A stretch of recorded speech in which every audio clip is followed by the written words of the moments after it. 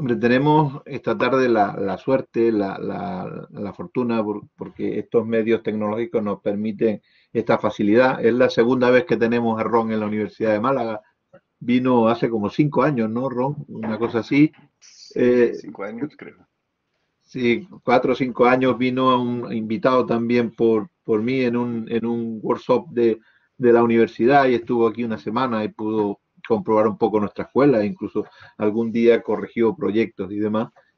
Y siempre ha tenido una obra muy importante, una obra interesante y muy atípica para lo que son los, arquitectos españoles.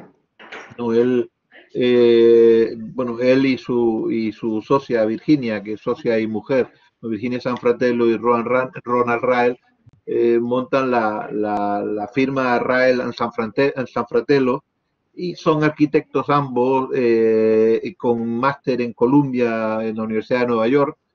Eh, han pasado por las instituciones académicas, el Instituto de Arquitectura del Sur de California, la Universidad de Arizona, la Universidad de Clemson, y en la actualidad Ron da clases en la, en la, en la Universidad de Berkeley, en California, en la Escuela de Arquitectura y en la, lo que sería en España la Facultad de Bellas Artes, que ahí se llama Centro de Estudios de Arte o algo así. Y Virginia es directora del Departamento de, Diseño en la Universidad de San José en Silicon Valley. Ambos tienen una obra ya extensa, eh, sobre todo como de piezas, de, de piezas, lo que podríamos llamar piezas mínimas, piezas pequeñas, pero que han llevado ya a, obtener varios premios muy importantes, entre ellos pues son voz emergente de la arquitectura de la Liga de la Arquitectura de Nueva York, que es prácticamente el segundo premio más importante de la arquitectura americana, el Digital Praxis Award of Excellence, porque ellos son, su investigación va muy encaminada a la arquitectura eh, mediante eh, plotter 3D, es que donde es un auténtico experto con las investigaciones dentro de Berkeley. Y últimamente en el 2020 le han dado el Art and Technology Award de la, de la LACMA, del, del, del, Museo de Arte Contemporáneo del, del, Condado de Los Ángeles, que es eh, un, un, premio también muy importante, ¿no? Dentro de las publicaciones, no quiero, no puedo decir todas porque eh, ya son muchos años de, profesión, pero desde el New York Times, el Domus, Metropolis Magazine, Praxis, Interdison, es innumerable las publicaciones. Y mm, entre, entre los museos, eso es lo que digo que un poco la, la, singularidad, ¿no? Su obra se ha mostrado en museos como el, propio LACMA de Los Ángeles, el Museo de, del Condado de Los Ángeles, o el National Building Museo de Washington, o el Red Dot Museum, o el Bellevue Museum de, Seattle, el ICBA de San Francisco, que es el Centro para el Arte y el Progreso, y tiene obras eh, incluidas en la colección permanente del MoMA de Nueva York, del Museo Cooper Heavy Smithsonian de Design, y el Museo de Arte Moderno de San Francisco, ¿no? Yo leer los primeros eh, cinco líneas de, de, que tienen en su página web eh, explicando su proyecto para no ser bastante largo, yo os recomiendo que vayáis a su página web y lo leáis entero, pero dice, Rael Sanfratello es difícil de definir. No, puede, no, no tenemos una filosofía fija. Perseguimos la investigación de arquitectura aplicada. Somos un estudio, un atelier, un taller de personas creativas interesadas en el mundo. Estudiamos arquitectura, enseñamos arquitectura, hablamos de arquitectura y realizamos dibujos, imágenes y modelos de estudio a gran escala que evocan y cuestionan la arquitectura. La arquitectura es una forma turbulenta de, práctica y luchamos contra las fuerzas que le dan forma y también contra las que le permiten existir. es un texto muy, muy evocador, que yo lo, lo, recomiendo, recomiendo su lectura, pero mucho más largo eh, que no, yo creo que casi daría yo la conferencia si lo leo entero, ¿no? Y sin más, Ron, pues cuando quieras, ¿no? Encantado de tenerte y bueno, a ver si, si te vemos más por aquí. Y además físicamente, a ver si podemos volverte a ver físicamente. Pues a ver, a ver, gracias Ciro, gracias Juan Carlos, gracias por la invitación. Primero que nada, tengo que explicar un poco que no hablo español muy bien y voy a tratar de presentar todos, todos estos proyectos en español, pero si me atoro un poco, me, me ayudan, por favor. Eh, no yo soy de ascendencia español y nativo americano, pero mi lengua materna es, español, pero como vivo en los Estados Unidos no, no hablo mucho en el español. Bueno, pues em, voy a hablar un poquito de unos proyectos entre eh, Plotter 3D, dices, imprimir en 3D, y también en eh, mi trabajo en la frontera. Pero yo tengo una idea, ¿qué es la frontera en los Estados Unidos? En los Estados Unidos, yo vengo de un lugar muy, muy distinto, muy especial, eh, se llama el Valle de San Luis, así tiene el nombre en español, porque hasta 1848 fue, el fue un territorio de México, el parte más norte del territorio de, México, hasta eh, la guerra americano-mexicano que se acabó en 1848. Y este es el origen del, Río Grande, se llama, el Río Bravo, que Río Grande. es el, la frontera, ¿cómo? Río Grande, Río Grande. Sí, el Río Grande. Bueno, tiene dos nombres, el Río Grande y el Río Bravo. En México dicen Río Bravo, en los Estados Unidos dicen Río Grande, con el nombre español en los dos casos. Em, bueno, y esta es una frontera histórica.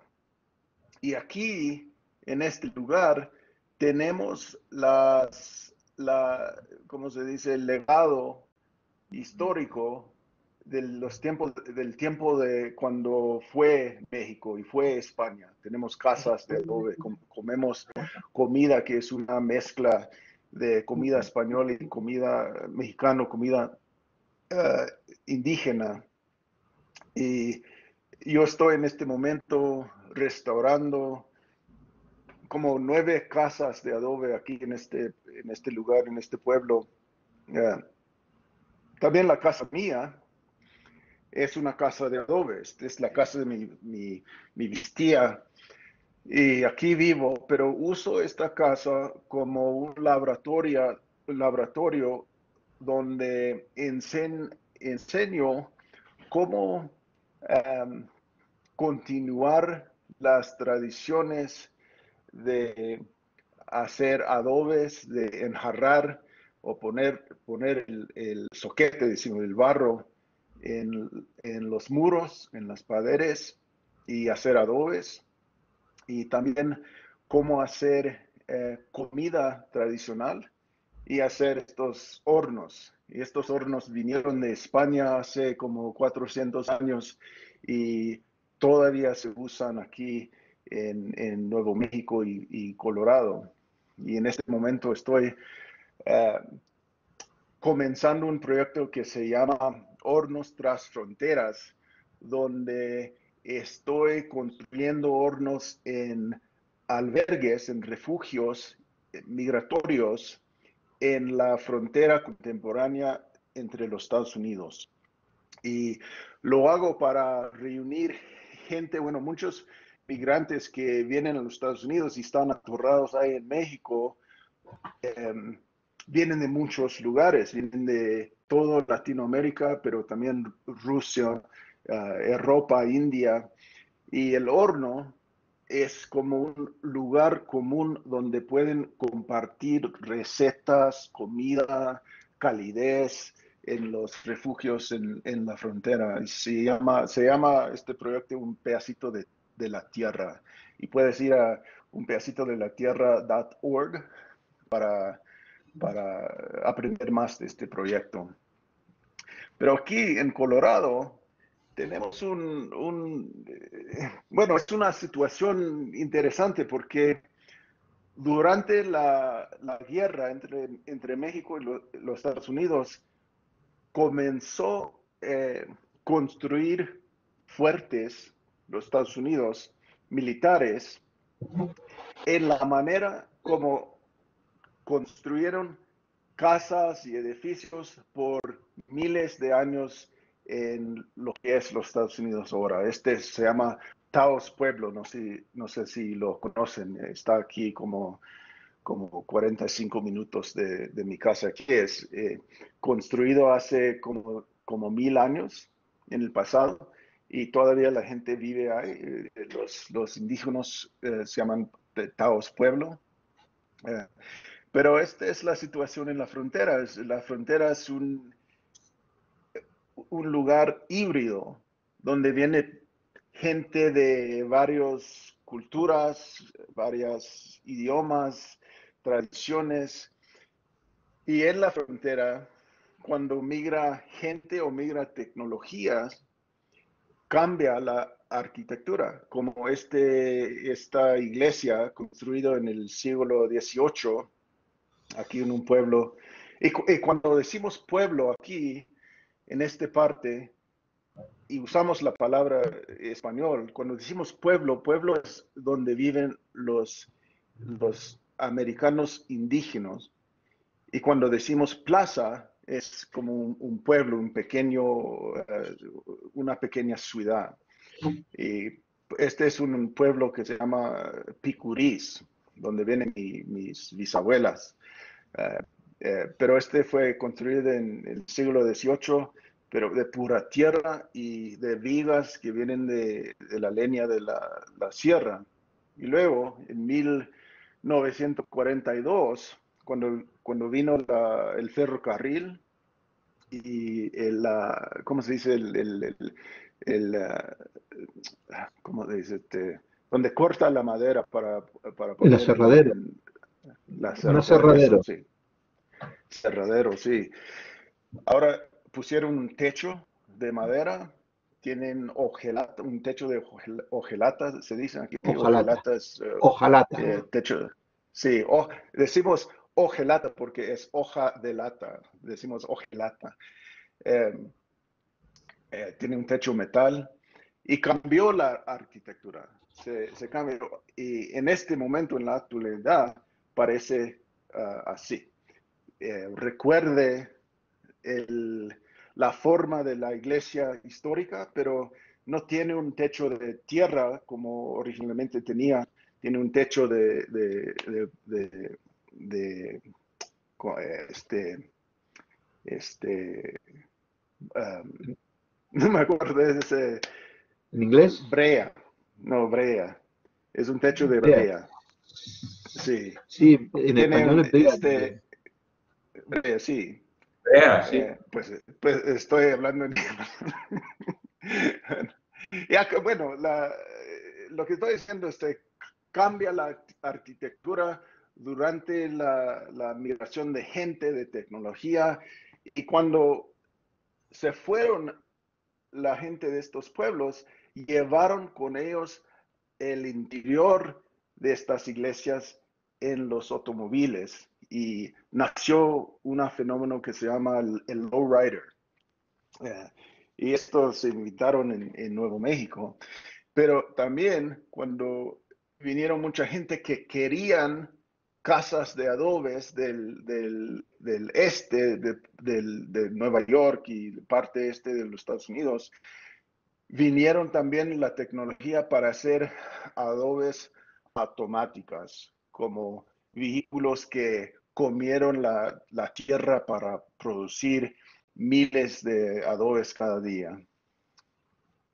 Pues todo esto, yo escribí todo esto en un libro que se llama Earth Architecture. Eh, pero si la arquitectura tradicional es de, barro y de madera y de piedra, y la arquitectura moderna tiene eh, cemento, concreto, eh, fierro eh, y vidrio, que es el y, es una mezcla entre esos materiales y tierra, que es el futuro de la tierra.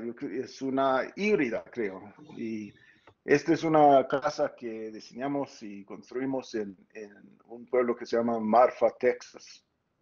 Es una casa bueno, moderna y tradicional al mismo tiempo. Es una casa hecha de adobe, enjarrado, de adobe, dicen enjarrado, eh, tapado con, barro, como en plástico. Ah, enfoscado. Enfocado con barro, terminado con barro. Sí, terminado con barro. Así, aquí decimos enjarrado. eh, pero sí enfocado con, con, barro afuera y adentro. Y mezclamos el, el barro con, con, paja y con, se llama baba de nopal, es el, el líquido que viene del, de adentro del nopal uh, para proteger, pero usamos dos clases de adobes. Los de abajo, que son más oscuros, vienen de Nuevo México, son más fuertes, pero más costosos. Los de arriba vienen de México, más baratos, pero no tan, tan, tan duros, tan fuertes. Por eso lo pusimos encima del, del, muerte, del, no sé cómo se llama este, encima de la ventana y la puerta, se dicen el muerte. El, dintel. Sí, el dintel, exacto, gracias, Ciro. adentro es una casa de, barro y adentro de la casa es un, una, bueno, es como una caja de barro y adentro una cajita moderna que tiene la electricidad, la plomería, el calidez em, para la casa. Y bueno, esa casa, como es una híbrida, pero como eh, esa casa, los temas de la casa son la mezcla de tradiciones y, la modernidad. Pero comenzamos un otro proyecto que, digo yo, difumina las fronteras, eh, las fronteras entre arte y arquitectura. Y es una proyecto que eh, explica los problemas que existen en la frontera contemporánea entre los Estados Unidos, los problemas entre la pobreza y la riqueza, la, el racismo entre el mexicano y el americano. Y el proyecto se llama Prada Marfa. Y yo creo que ustedes ya conocen qué, qué es Prada. Um, y es un, eh, bueno, una tienda que vende zapatos muy costosos que eh, cuestan más que mil dólares aquí en los Estados Unidos. Pero construimos este proyecto en un lugar en la mitad del desierto donde la, el zapato tradicional fue hecho de, de la planta yuca. Y estos son las, los zapatos que que usaron históricamente, pero es un lugar que desafortunadamente yuca todavía se usa y lo ponen en los zapatos cuando caminan 100 eh, millas caminando en el desierto hasta que, se acaban los zapatos de un, un migrante. Aquí existen los, eh, los eh, como dicen, eh, estos, tengo que pensar en inglés y en español al mismo tiempo, es poco difícil, pero las ironías entre los dos lugares. Em, bueno, aquí es el edificio, Prada Marfa. No es una tienda, no, puede, no se puede entrar uno, nomás es como un time capsule donde existen los zapatos de 2000 cuatro, creo, y las bolsas. Y existen en la mitad del desierto, en, el estado de Texas, eh, cerquita de Chihuahua y la frontera entre los Estados Unidos. Y cuando lo construimos, pusimos los adobes en el mortar de cemento, porque así lo hicieron eh, el militar eh, de los Estados Unidos cuando, después de la, guerra que expliqué, comenzaron a eh, fuertes en, el borde, en la frontera. Y esto es lo que pasa en estos edificios ya 100 años después, cuando se pone el adobe en el, en el, morter de cemento y no usa el morter de, barro. Bueno, es también este proyecto eh, nos introdujo la idea, el idea que arquitectura y arte puede ser un objeto cultural, digo, em, que es un fenómeno, fenómeno que puede existir en, en las redes eh, sociales o Instagram. Eh, no sé si conoce esta uh, cantante, se llama Beyoncé, pero cuando ella puso esta foto en Instagram, toda la gente fue a Prada Marfa para hacer y para brincar enfrente del edificio para poner un foto en Instagram también. Y los Simpson, la, la familia Simpson, también atravesó los Estados Unidos en un road trip y visitó a Prada Marfa, no para visitar el arte, pero porque eh, Homer tenía que tirar agua eh, detrás del edificio. Durante que estábamos construyendo esta, esa casa y Prada Marfa, comenzó los Estados Unidos con eh, empezar un proyecto arquitectural, yo, más grande del siglo XXI. Y es la construcción de más que 700 millas de, muro para dividir los Estados Unidos de México en un costo fenómeno, 4 millones de dólares cada, cada milla. Ah, y gastaron como 3 millones de dólares desde 2006. Y este proyecto va a ocupar 49 millones de dólares para, para acabar entre los, los eh, siguientes 25 años. Eh, esto no es el, el, muro que propuso el, el presidente Trump, es el, el, uh, la consecuencia, consecuencia del, del, se llama el Secure Fence Act of 2006, que comenzó el presidente Bush. Porque el muro que propuso el, Trump iba a costar se, se, 70 billones de dólares.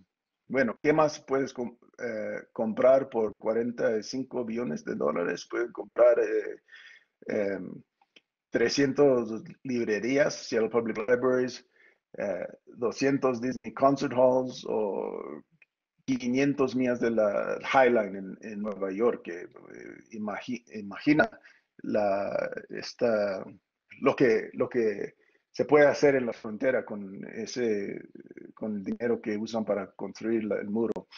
Bueno, la pregunta que, que siempre pensaba es, es el muro fronterizo es, es ese muro arquitectura, es eh, en verdad fue diseñado, eh, fue diseñado en un lugar donde eh, choca vehículos que tienen como, como 40 toneladas de material y lo pega al muro para demostrar que no se puede pasar ese muro. Pero en el otro lado están también haciendo unas eh, investigaciones cómo se puede cruzar ese muro, como estos puentes que ponen en, los camiones ah, para, para, para atravesar el, muro. Bueno, este muro es una arquitectura de violencia también y, más que 6 millones de gente ha muerto eh, tratando de cruzar la frontera porque este muro se la tiene que la gente tiene que andar más allá en, la, en el desierto cuando quiere tratar de, cruzar la frontera y, bueno este muro la si, si llegamos a ver ¿qué está pasando en este muro cuando visitamos el, muro? La gente viene al muro para reunir y reconectar. Eh, y es muy interesante lo que hace la gente para hacer, es, eh, para reforzar la cultura binacional que tienen gente fronteriza. Em, bueno, hacen eh, clases de yoga binacionales hay muchas historias, pero empezamos a hacer un libro que se llama eh, Muro Fronterizo como Arquitectura. Y ah, hicimos maquetas, dibujos, mapas, juguetes para recordar, eh, eh, decimos estos que son recuerdos para recordar el tiempo que los Estados Unidos construyó un muro y qué locura fue ese, ese acto de construir el muro. Bueno, y documentamos las historias que ah, resultó ah, por la construcción, construcción de la, del muro. Eh, déme beber agua un poquito. Espere. Bueno, como este, esta ah, patrulla fronteriza que quiere comprar una paleta de una persona que está muy cerca de él y compra la paleta le da dinero, él le da la paleta, y este es completamente ilegal. Ah, pero solo por este tantito uh, acerro que existe entre los dos, eh, los dos, ¿no? Y este es el, el, recuerdo que hicimos que se llama el muro burrito, donde eh, enseña que es posible continuar las tradiciones de compartir comida, historias eh, por, la, por el muro. Uno que este se llama el, muro eh, pedestriano, no sé en español. ¿Muro? Donde el muro es como una... Ah, facilita la, la habilidad que gente lo usa como para para andar en bicicleta y eh, a pie en, sus propias eh, ciudades. Una biblioteca internacional, que el muro solo es donde se ponen los libros en el, muro. Y este es un tratamiento, es una... Bueno, lo que, lo que queremos decir es que el muro puede ser desconstruido también. Eh, no físicamente, pero primero em, metafóricamente, digo. Y estos son otros proyectos que, este es un columpio. Eh, dos personas pueden entrar y andar y, cumplir hasta el otro país, hasta que la fuerza de, gravedad lo despacha para su, su propio país. En un lado, el muro parece ah, como la, la, yarda, decimos, no sé, en, España, de, una casa y el otro lado parece eh, el muro se usa como el, cuarto pared de una casa. Hicimos estos planes, estos, eh, estos planes que en el mano eh, derecha, vemos que en la mano derecha vemos una casa en El Paso, Texas, y en la mano izquierda vemos una casa en, Juárez que está conectada, pero dividida por el, el cuarto, la recámara y está cortando la cama porque lo que queríamos explicar es que la, el muro no solo divide países, ah, sino ah, ciudades, comunidades, eh, vecinidades, familias. pues estos son las, los cuentos, las historias que colectamos en el libro Border Wall as Architecture, pero no son propuestos para el muro, son como una biografía del muro, porque yo creo en este eh, dicho del, del, arquitecto famoso Hassan Fati, que dijo, los arquitectos no diseñan muros, diseñan los espacios entre los muros. Cuando empezamos este libro, eh, Architecture, estamos, estamos em, acabando con el libro Earth Architecture y como estuve pensando en que qué es la, arquitectura contemporánea de tierra, también estuve pensando qué es el futuro de, la arquitectura de tierra. Y en ese tiempo, 2008, ah, pensé, pues, 3D eh, printing, creo. Y comenzamos con ese proyecto, y ese proyecto se llama Emerging Objects. Um, y comenzamos, eh, bueno, eh, había un magazine, una, revista aquí en los Estados Unidos que, que escribió las 40 cosas más importantes que tiene que saber sobre los siguientes 40 años. Y el punto número uno, número uno, fue eh, edificios, edificios sofisticados va a ser hechos de, de barro. Fue el Smithsonian Magazine de, Washington, D.C. Y lo que pensé yo es, es eh, la primera cosa, la única cosa que tienes que saber de los, los eh, 10.000 años del pasado, que fue que, que eh, edificios sofisticados fueron hechos de barro. Eh, y comenzamos en experimentaciones para imprimir en barro. Estos fueron, fueron los eh, primeros eh, primeras investigaciones donde comenzamos a imprimir en barro y cerámico.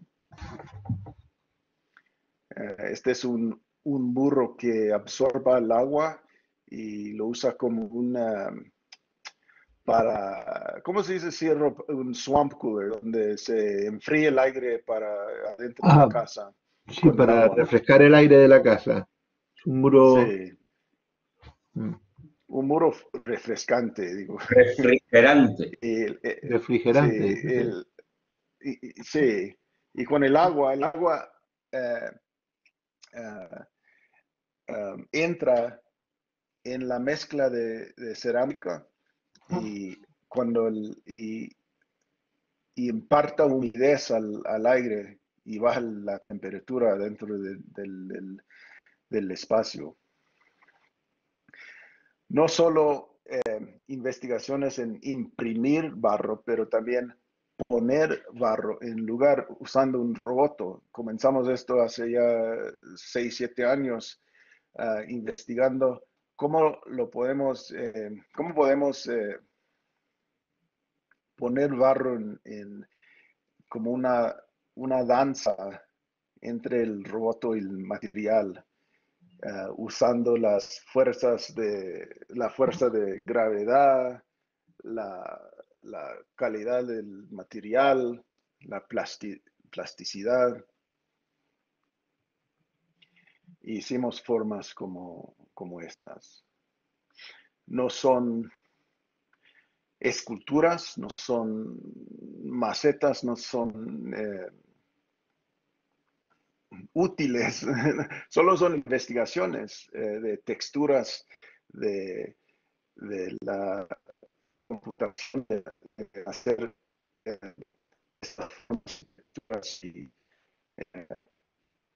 pero estamos pensando Está, fallando, está fallando el audio. tiene? Sigue a ver. Tiene poca señal de, de, de Wi-Fi.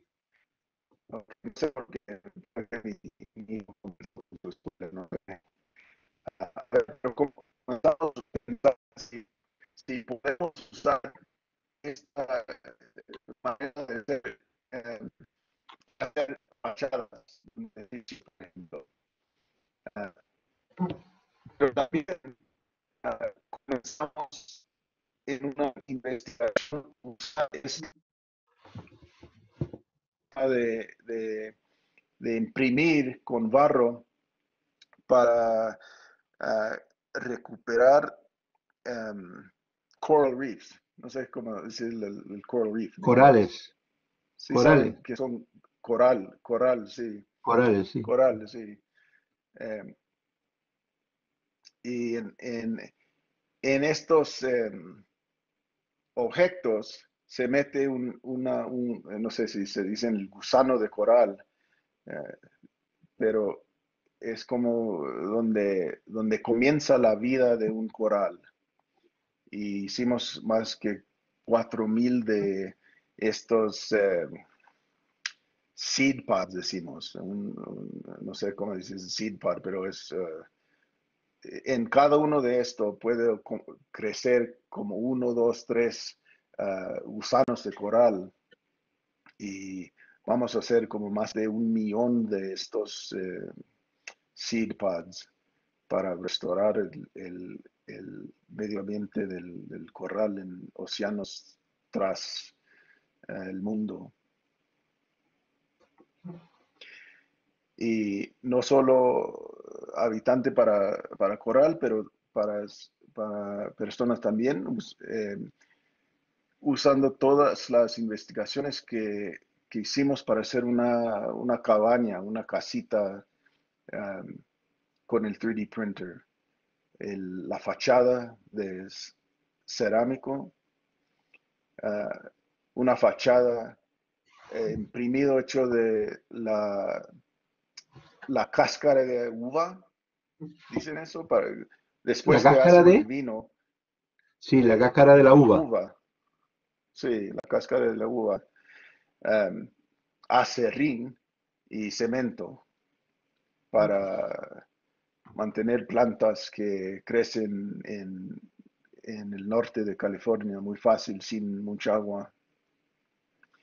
Y adentro también todo está imprimido, los muebles, los paredes son tan translucentes. Eh,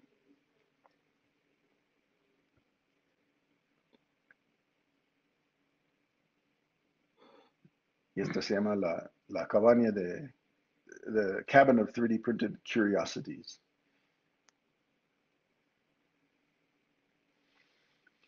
Bueno, en este momento estamos pensando, ¿podemos conectar las investigaciones entre la frontera y los de las de, 3D printing? Y comenzamos a pensar, ah, podemos imprimir una casa de barro. Y comenzamos, bueno, tenemos que hacer tres cosas. imaginar y hacer una máquina para imprimir eh, espacios y edificios grandes, hacer el software para correr la máquina, para arrear la máquina o manejar la máquina, y también cómo podemos eh, empujar tanto material por la máquina. Esos fueron los tres problemas que encontramos. Eh, primero, inventamos una impresora que podía construir algo más grande que la máquina, que la máquina y salió como, como este. Y ahora se vende por 3dpotter.com. Podemos hacer muchas cosas de, barro, pero también una cosa muy grande con, barro también. Y investigamos cómo empujar ah, el barro. Y estas fueron las, las pruebas que hicimos.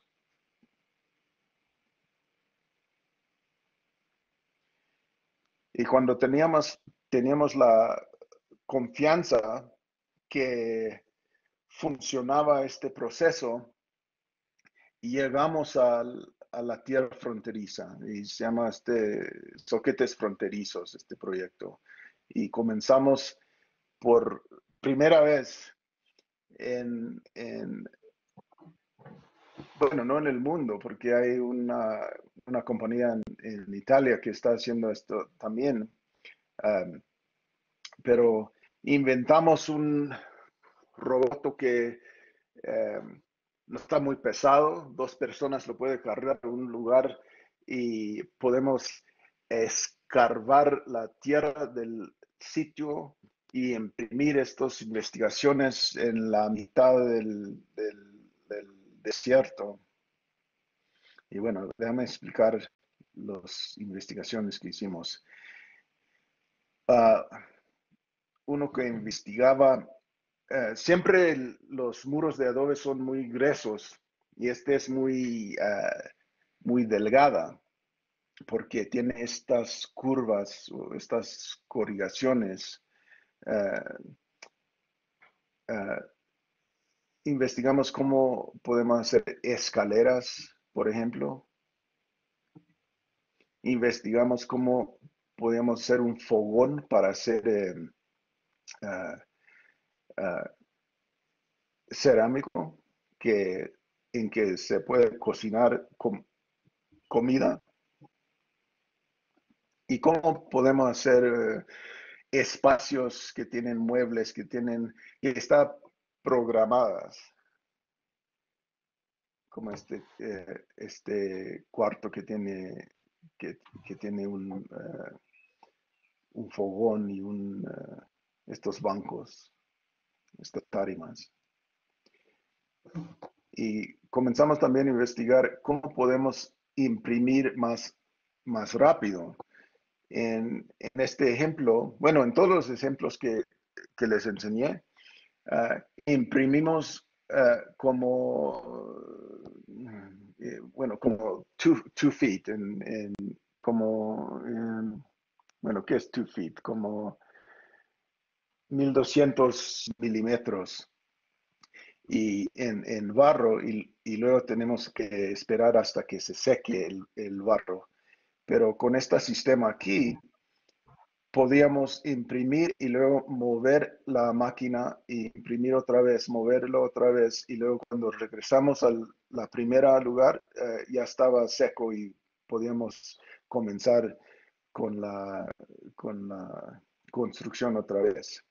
Y con esto también hicimos como un espacio que tiene tres espacios, multicelular, por ejemplo. Ah, y todo este, este es el roboto muy chiquito y, ah, y yo estoy manejando la, el roboto con mi, mi, teléfono, mi teléfono.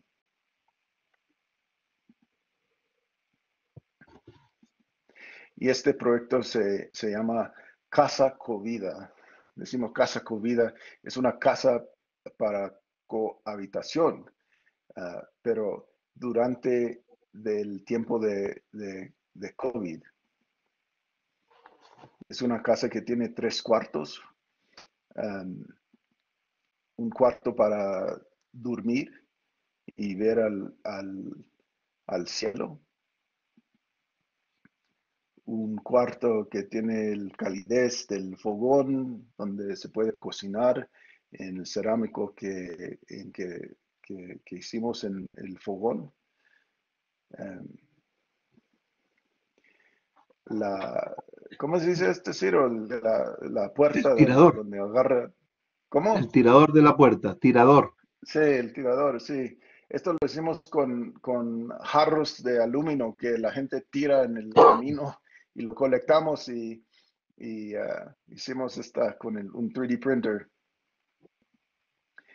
y un, cuarto en que se puede bañarse uno y mirar al cielo. ¿Y qué tal el techo? Usamos un techo con un globo eh, y en parte un color fantástico adentro de, los, los, cuartos. Y parece también un, como un flor del nopal en el desierto.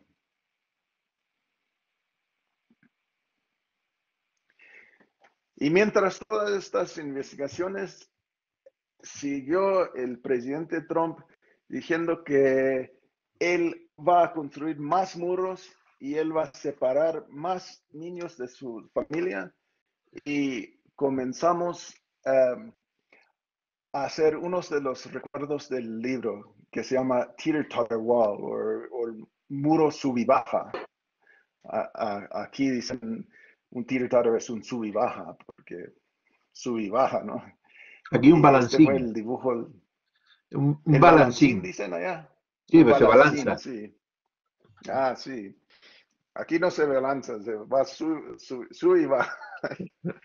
Pero bueno, este, este proyecto eh, habla de las relaciones entre los Estados Unidos y México, los, los, bueno, los balances, dicen, los eh, entre, sí, los balancines. Bueno, quiero decir que hay temas entre migración, la pobreza, la, la riqueza, eh, labor que, que los dos países tienen que balanzar, balanzar. Balancearse. Balancear, sí, gracias, Ciro. Estos, eh, bueno, estos fueron los... Eh, gracias por su paciencia con mi mala lengua que tengo. No, que va, se entiende muy bien, Ronald. Sí, ok, gracias. bueno, pues un día empezamos a construirla viendo cómo podíamos eh, meterlo en el muro y esta fue la manera para hacer el, el, eh, ah, eh, ah, no me acuerdo, donde ah, conectamos el sub y baja, el balancín.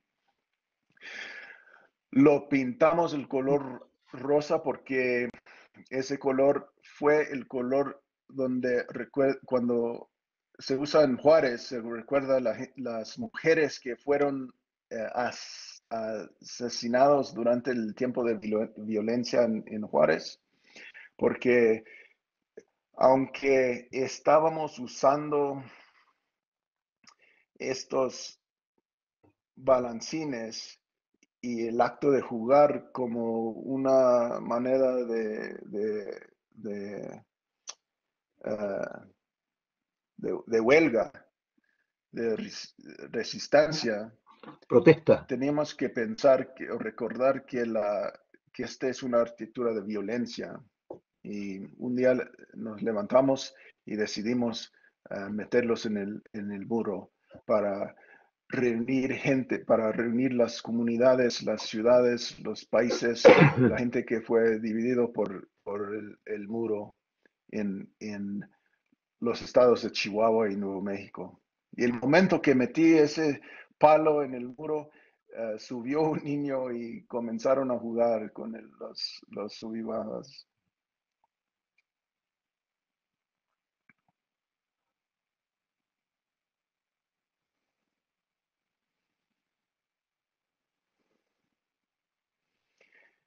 Digo yo que cuando vino el, la, la patrulla, preguntaron, ¿qué están haciendo aquí? Y les dije, bueno, un evento con los niños y las familias aquí. Y ellos parquearon eh, su, su vehículo ahí, tomaron fotos y sonrieron. Y, y también vinieron la, la patrulla ah, militar de México, bien armados, y nos preguntaron, ¿qué están haciendo aquí? Eh, un evento con los niños y sonrieron y, quedaron ahí mirando y no nos molestaron nada. Ah, porque digo que las, las madres y, y abuelas y niños que estaban ahí hicieron un espacio como un santuario que nadie podía entrar para molestarlos. Fue su, propio espacio. Fueron de ellos, digo, de, ellos mismos. Y, eh, bueno, fue un evento muy especial. Yo eh, digo que no sabíamos. Bueno, fue un evento muy humilde. No invitamos la prensa ni nada. Tomamos unas fotos, unos con el drone también, y lo puse en mi Instagram. Pero de repente las noticias de este evento cruzó todo el mundo y fue increíble que por 40 minutos podíamos enseñar a todo el mundo que lo que hace uno en un lado tiene consecuencias en el otro. Bueno, pues, gracias. Muy bien, pues Ron, darte las gracias. Pues, gracias a ustedes, gracias Ciro, gracias Juan Carlos. Eh, muy amable conocer, conocer. Y a ver si tenemos. Qué buen verte. La oportunidad de, ir a, ojalá, de oportunidad de ir a Berkeley otra vez o de que venga a España personalmente.